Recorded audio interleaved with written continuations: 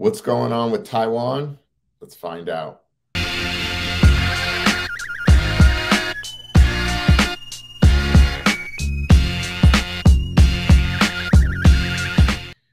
Hi, everybody. How's it going? Welcome to this week's recap. On Tuesday, House Speaker Nancy Pelosi landed in Taiwan, becoming the first person of her rank to do so in almost 30 years. The trip was not officially sanctioned by the Biden administration, but President Biden also didn't publicly dissuade Nancy Pelosi from going. While the U.S. has a strong relationship with Taiwan and we are its main provider of military equipment, we also keep a distance from the island to avoid angering China. Why? Because the Chinese government view the island as a renegade province that is still part of the People's Republic of China.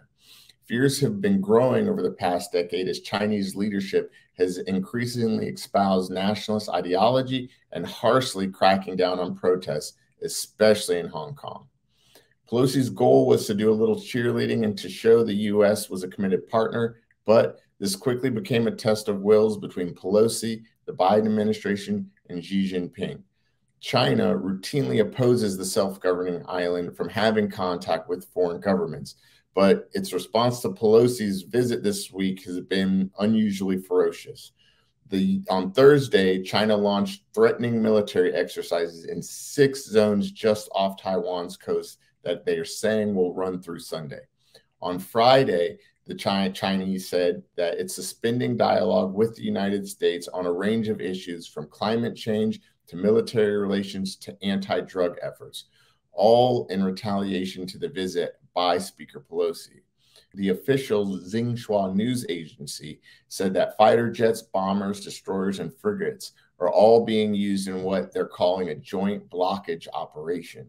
Defense officials also told state media missiles have been fired over Taiwan.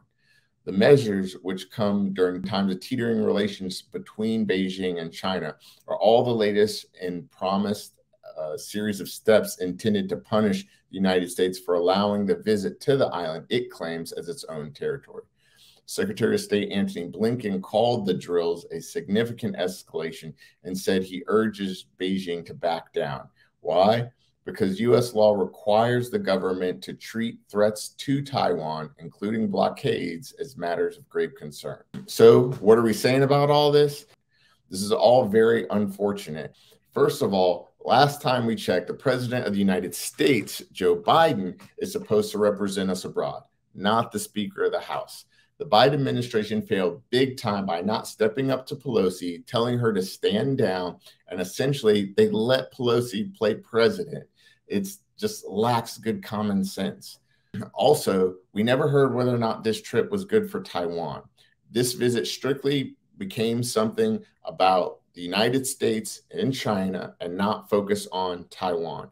Both sides were saying that they couldn't back down, and it essentially is going to do more harm to Taiwan than good, both for their physical security presence, but also um, internationally and abroad with future governments and their relations there.